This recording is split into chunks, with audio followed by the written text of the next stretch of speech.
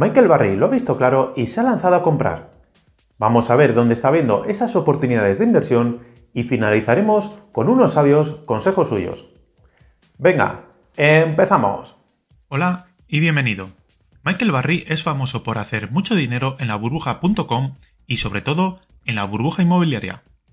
El año de la explosión de la burbuja inmobiliaria, Barry ganó un 166%, que sumado a los buenos años anteriores, el fondo de Barry ganó casi un 500% libre de gastos y comisiones.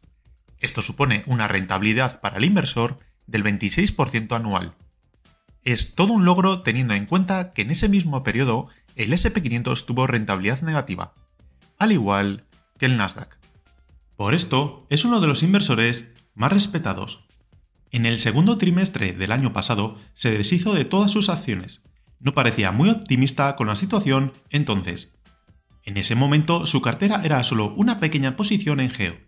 Pasó de tener invertidos 165 millones a tener solo 3 millones. Por entonces, con una inflación interanual por encima del 8%, se mostraba muy preocupado por ella. Indicaba que los tres últimos grandes periodos de alta inflación en Estados Unidos se produjeron por las siguientes causas.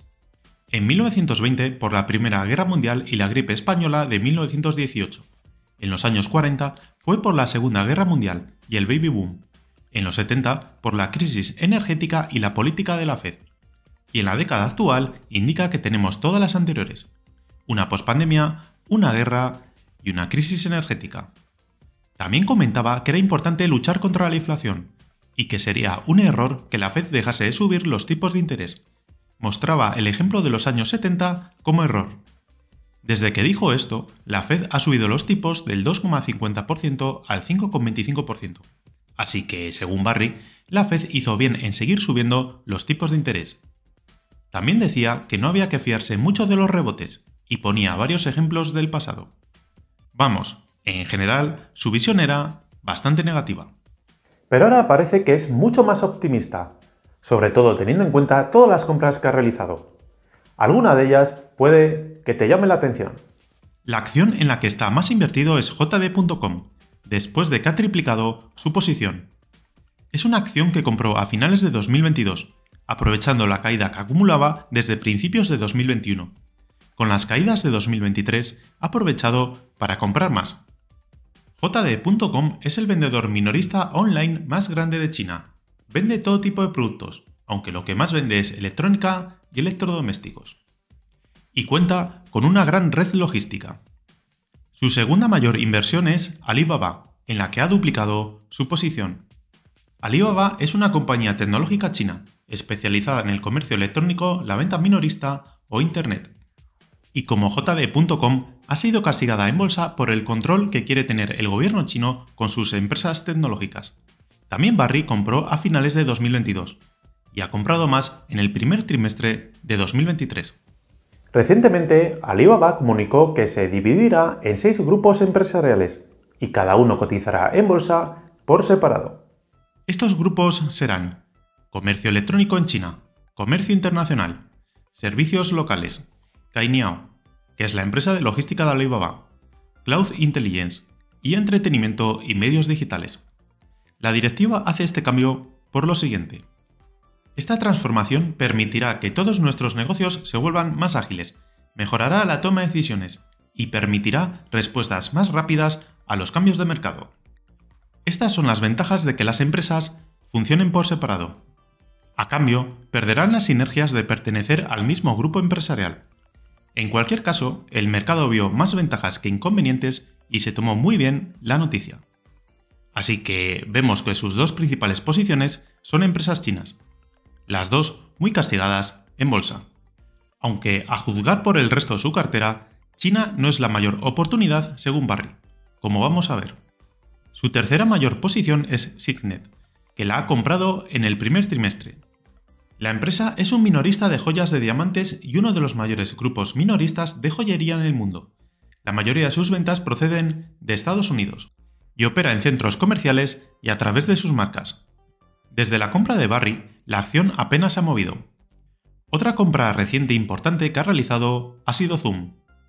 Zoom es una compañía conocida principalmente por su sistema de videollamadas y reuniones virtuales Zoom. Como curiosidad, Barry ha apostado alguna vez en contra del ETF ARC de Cathy y Zoom es una de sus principales posiciones. Pero después de que la acción valga casi solo una décima parte de lo que llegó a valer a finales de 2020, Barry considera que estos precios es buena compra. Michael Barry tiene un sistema de inversión particular, se ha definido como un inversor value y basa sus compras en que tengan un buen margen de seguridad. Aunque por otro lado, vemos que es un inversor que tiene mucha actividad de compra y de venta. También lo podemos definir como un inversor contrarian, ya que comenta lo siguiente. Trato de comprar acciones de compañías impopulares cuando parecen que están camino a la muerte, y las vendo cuando se han pulido un poco. Esto parece que es lo que ha intentado hacer en las siguientes acciones que vamos a ver.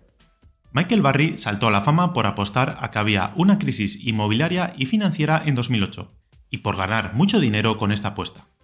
Mientras las bolsas se hundían, el fondo de Barry subía en 2007 un 166%. Barry fue muy crítico con la banca por la concesión de hipotecas subprime, donde muchos bancos prestaban dinero a casi cualquier persona, sin importar su capacidad para devolverle los préstamos.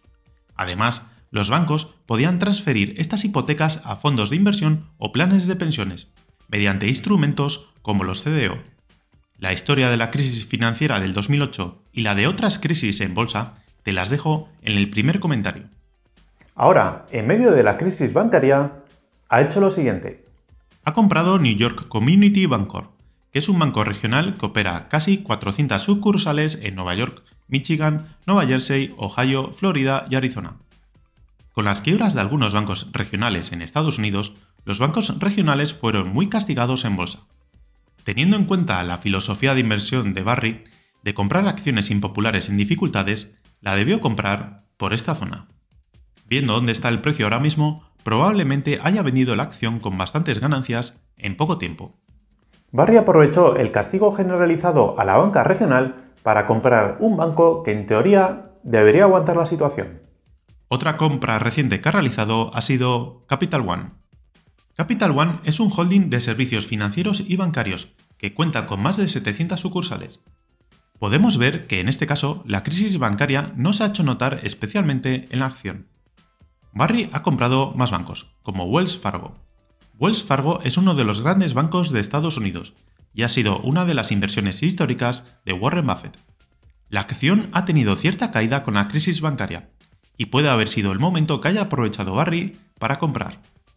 Western Alliance Bancorp es otro banco regional que compró Barry, aunque en este caso la acción sigue más o menos en los niveles que tenía en marzo.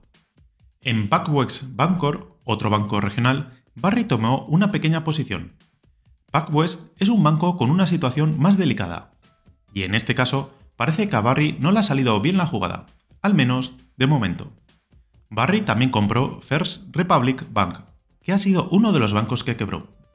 Fue intervenido por Estados Unidos y comprado finalmente por JP Morgan.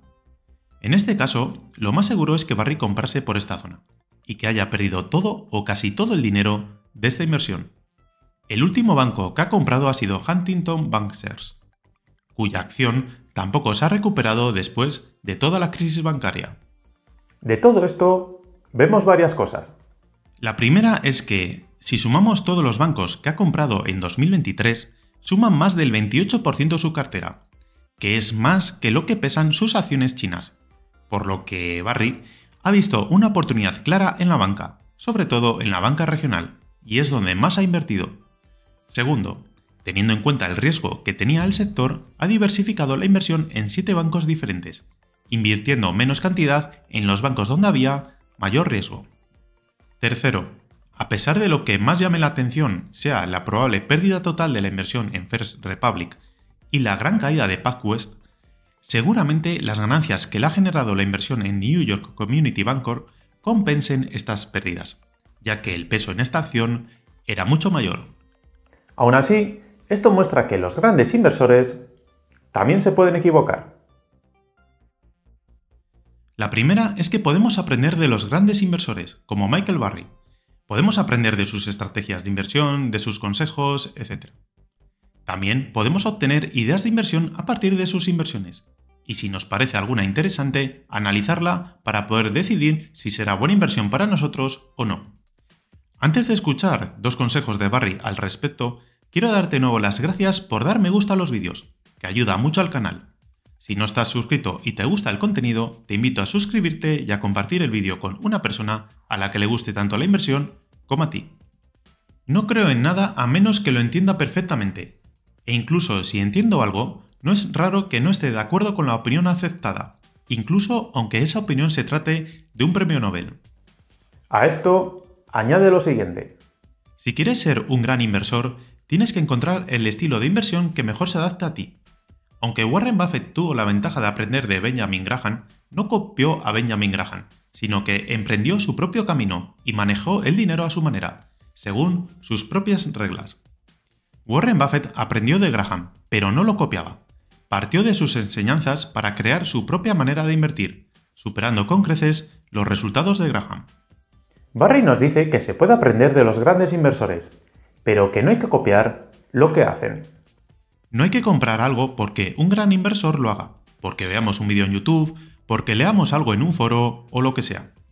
Por ejemplo, el 15 de noviembre se supo que Versailles tenía en cartera acciones de TSMC, o al menos las tenía a 30 de septiembre. A pesar de que se conoce la información con retraso, la acción subió ese día un 10%, gracias a la gente que compró al saber que Warren Buffett había invertido en ella. Estos inversores están comprando un 10% más caro que el día anterior al intentar copiar a otro inversor, y sabrán con retraso cuando vende Buffett, así que copiar no parece una buena idea. Y por cierto, se acaba de conocer que ya vendió toda su posición. Si intentamos comprar por imitación, no sabremos cuándo compran. Si compramos cuando nos enteramos, compramos tarde. Luego, si baja la acción, nos preguntaremos que por qué baja. No tendremos ni idea, ya que solo hemos comprado por imitación. Y si sigue bajando, ¿la mantendremos? No sabremos si el inversor al que hemos copiado habrá vendido ya o no. Quizás ha vendido antes de empezar a caer, porque ha visto algo que no le ha gustado o lo que sea. Pero nosotros no nos habremos enterado. En definitiva, este camino solo lleva a tener malos resultados. Antes que intentar imitar la cartera de Buffett, es mejor invertir en Versailles. Antes que intentar copiar las inversiones de un fondo de inversión, mejor invertir directamente en el fondo. Para poder gestionar una inversión hay que entenderla muy bien, y si se compra por imitación, no se entenderá. Si no entiendes una empresa, si no puedes explicársela a un niño de 10 años en dos minutos o menos, no la compres. Porque si no la entiendes, cuando bajen las acciones, ¿qué harás? ¿Comprarás más? ¿Lo decidirás a cara o cruz? Lo que nos dice Peter Lynch no solo aplica a las acciones, también aplica a cualquier producto de inversión. Hay que entender muy bien en lo que se está invirtiendo. Antes de invertir en una acción o en un sector, hay que entenderlo bien. Para ello, conviene analizarlo, para poder decidir si puede ser buena inversión o no. Un ejemplo es el análisis del sector del hidrógeno que hemos realizado en una serie de tres vídeos que te dejo aquí. También te dejo aquí la opción para que te puedas suscribir si te ha gustado el vídeo, dale a me gusta y recuerda, compra barato y vende caro.